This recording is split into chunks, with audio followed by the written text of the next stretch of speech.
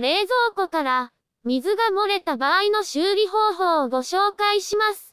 画面のように、冷蔵庫から水が漏れて、床が濡れているような場合の修理方法です。作業に使用する道具です。タオルと、先の曲がるストローです。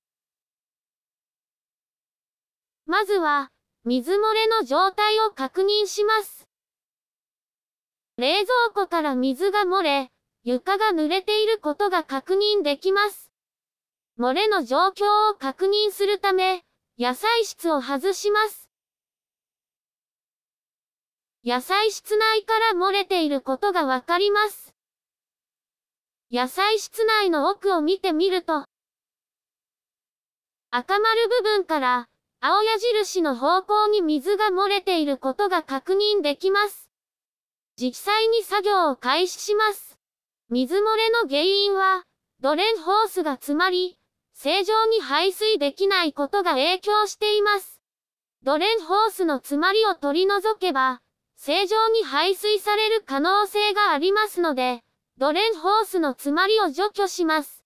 まずは、冷蔵庫の裏面にある、蒸発皿を外します。蒸発皿の設置してあったところを下から覗くと、赤丸部分に、ドレンホースの排水口が見えます。わかりやすいように、排水口をライトで照らします。排水口に、ストローを挿入します。排水口の下に、タオルを敷きます。これは、詰まりが抜けた際に、排出された水を吸収するためです。ストローを加えます。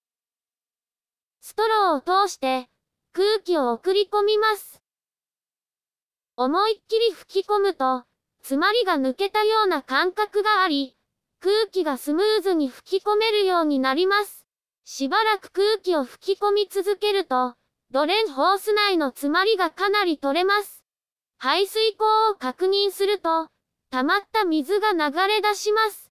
水も流れが確認できたら、水漏れ補修は完了です。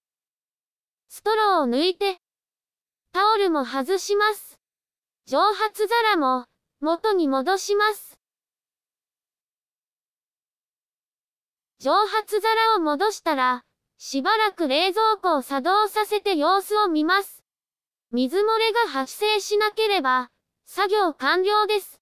冷蔵庫にはいろいろな種類がありますので、作業は自己責任で行ってください。